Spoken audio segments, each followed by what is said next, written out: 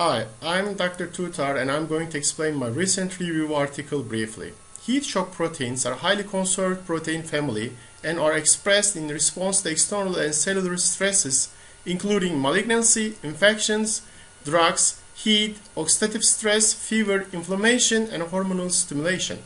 Therefore, expression level of HSPs is significant biomarker for many diseases. HSPs are emerging as important molecules in the development of cancer and as key targets in cancer therapy. These proteins enhance the growth of cancer cells and protect tumors from treatments such as drugs or surgery.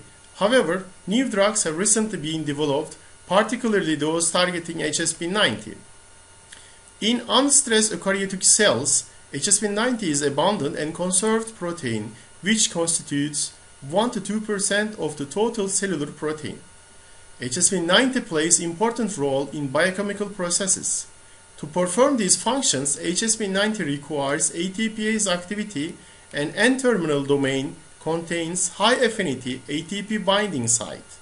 ATP hydrolysis induces large conformational changes for interaction with cochaperones and substrate proteins.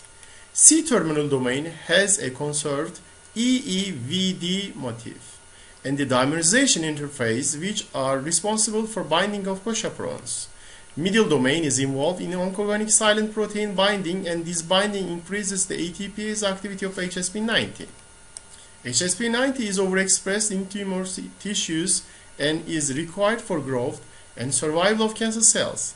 To date, more than 200 HSP90 client proteins were identified, such as cell cycle regulators, transcription factors, transmembrane tyrosine kinase, steroid receptors, mutated signaling proteins, chimeric signaling proteins, and these are associated with signaling pathways in tumor development.